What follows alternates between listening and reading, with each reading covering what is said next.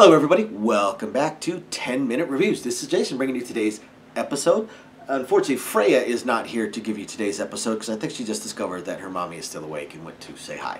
Um, but she may make a fuzzy missile appearance at some point. As always, guys, please hit the like and subscribe buttons. All that support just means a ton to us. We're going to keep doing this anyway. We love to talk about books, but the uh, the support again just just means a lot Yay, to us. Yep. We're here to bring you guys books, authors, and just about anything else we can think of. So today I want to talk about an author that I've talked about many, many, many times in the past because I've noticed there's quite a few people out there that really uh, are, are huge fans.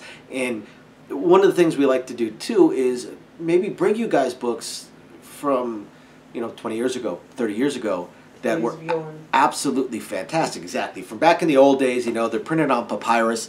Um, that uh, that some of the newer readers may not have discovered. We've done that with a lot of science fiction, and we do that with quite a few westerns. So today I want to talk about Louis L'Amour, who is the master of the romanticized western, in his book Buckskin Run. Now, a lot of his books, a lot of my favorite of his books, are ones like this, which are actually collections of his short stories collections of his short stories that were absolutely phenomenal. And you know, I read this one, uh, I reread this one a couple of weeks ago, and I'm trying to remember some of the characters that popped up in it.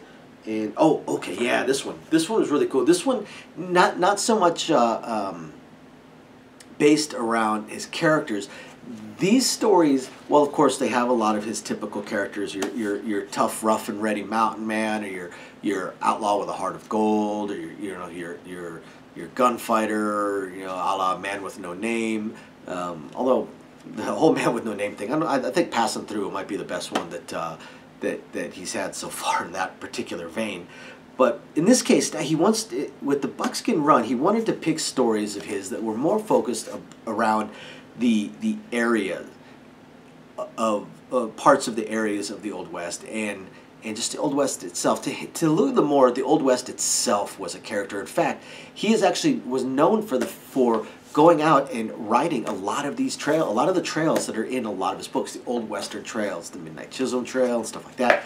Um, because he, he, he wanted to know more about it and and, I, I, I think he probably wished he was you know living in those those times but um, you know the, the the time period so these particular stories seem a lot more focused on on an area or geography or or a town stuff like that but what what's really really cool with this particular book is each one of the short stories starts out with a little historical note about a person a city, an event, or town really, an event, things along those lines within the book, um, or within you know within history that are absolutely fascinating. I mean, you know, the very first one. Let's see if I can find it. The oh no, I'm sorry. Each story ends with one of those historical notes. Let's see if I can find the first one.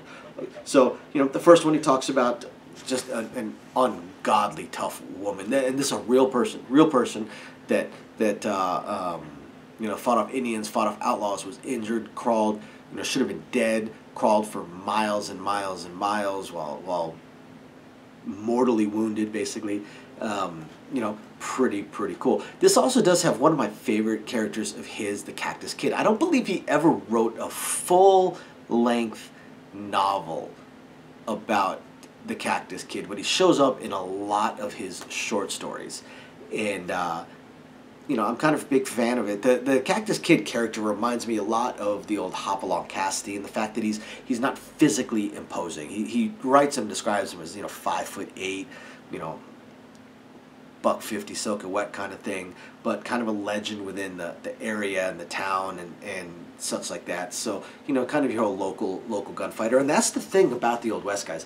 The Old West for every incredibly famous John Wesley Hardin and and uh, um, you know, Wild Bill Hiccup, Hiccup, Hip, Hiccup, Hickok, there were there were a hundred unknown gunfighters that were probably just as fast or faster. They were just you know small little regional guys. They worked as a cowhand somewhere and never you know didn't go around getting into gunfights.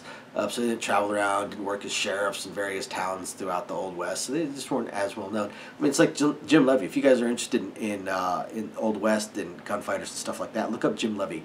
Jewish gunfighter. Uh, I think he was killed in might have been Las Vegas actually, but uh, um, he's probably the fastest gunfighter in the West. He, he he actually had the most confirmed via news articles, uh, uh, letters, actual written stuff from back then. Actually confirmed as being in the most stand up face to face.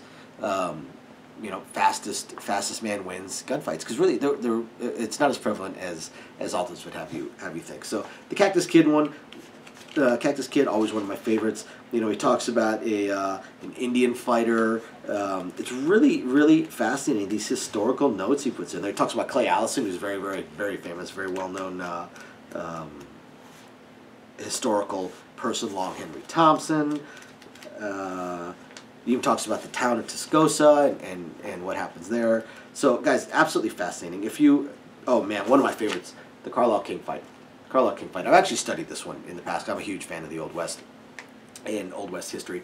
So guys, if you guys like westerns, this one is awesome because again, short stories. And I'm going to be talking about a couple other short story books and further reviews. Um, short stories, easy reads, but this the historical notes really really cool. Absolutely love it. So thank you guys, everybody, for watching. We appreciate you guys. After you guys hit the like and subscribe buttons, please go check out Buckskin Run by Louis L'Amour. Thanks for watching, everybody. Bye now.